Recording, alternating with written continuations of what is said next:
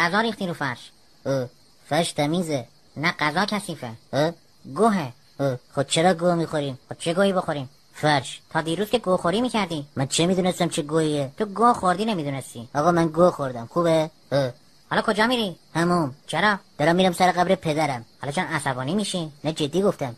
پدر زیا پدر شیشپا پدر سوز. بفرمایید گوه. ممنونم. گوه به قبر پدرتون. خواهش می‌کنم لطف دارید.